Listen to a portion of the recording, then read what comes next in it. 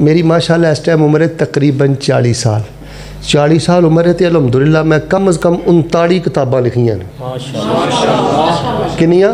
39 ਤਰਾਜਮ ਵੀ ਕੀਤੇ ਨੇ, ਸਿਲੇਬਸ ਦੀਆਂ ਕਿਤਾਬਾਂ ਨੇ, ਅਰਬੀ ਤੋਂ ਉਰਦੂ ਕਿਤਾਬਾਂ ਨੇ, ਖੁਤਬਾਤ ਨੇ ਮਾਸ਼ਾਅੱਲਾ ਦਰਜਨਾ ਦੇ ਅੰਦਰ। ਇਹ ਅੱਲਾ ਦਾ ਫਜ਼ਲ ਹੈ, ਮਾਲਕ ਜਿੱਤੇ ਕਰਦੇ ਮੈਨੂੰ ਤੁਸੀਂ ਪੁੱਛੋ ਨਾ ਕਿ ਮੌਲਵੀ ਜੀ ਇਹ ਗੱਲ ਦੱਸੋ, ਕਿਸੇ ਪਾਸੇ ਅੱਜ ਗੱਲ ਲਾਓ, ਤੁਹਾਨੂੰ ਪੂਰੇ ਦੀਨ ਚੋਂ ਕੀ ਸਮਝ ਆਈ ਏ?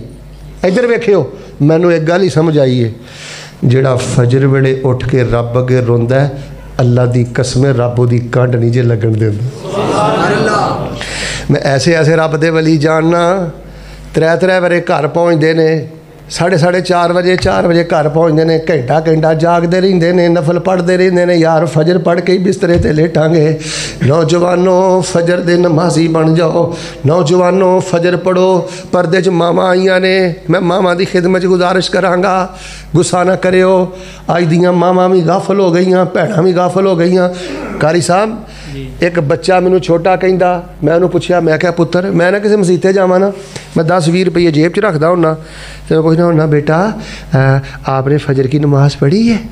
ਜੀ ਉਹ ਕਹੇ ਨਾ, ਪੜ੍ਹੀ ਹੈ। ਫਿਰ ਮੈਨੂੰ 10 ਰੁਪਏ ਦੇ ਦੇਣਾ ਉਹਨਾਂ ਹੈ, ਪਿਆਰ ਕਰਨਾ ਜਿਹਨੇ ਫਜਰ ਪੜ੍ਹੀ ਹੋਵੇ। ਤੇ ਜੇ ਕੋਈ ਨਾ, ਨਹੀਂ ਪੜ੍ਹੀ, ਫਿਰ ਮੈਂ ਕਿਸੇ ਵੇਲੇ ਪੁੱਛ ਲੈਣਾ ਹੁੰਨਾ ਪੁੱਤਰ, ਕਿਉਂ ਨਹੀਂ ਪੜ੍ਹੀ? ਇੱਧਰ ਵੇਖਿਓ। ਤੇ ਮੈਂ ਇੱਕ ਬੱਚੇ ਨੂੰ ਪੁੱਛਿਆ, ਪੁੱਤਰ, ਫਜਰ ਪੜ੍ਹੀ ਯੂ? ਆਂਦਾ, ਨਹੀਂ। ਮੈਂ ਕਿਹਾ, ਕਿਉਂ? ਆਂਦਾ, ਕਾਰੀ ਸਾਹਿਬ, ਫਜਰ ਵੇਲੇ ਨਾ ਅੰਮੀ ਉੱਠਦੀ ਏ, ਨਾ ਫਜਰ ਵੇਲੇ ਅੱਬੂ ਹੀ ਉੱਠਦਾ ਏ।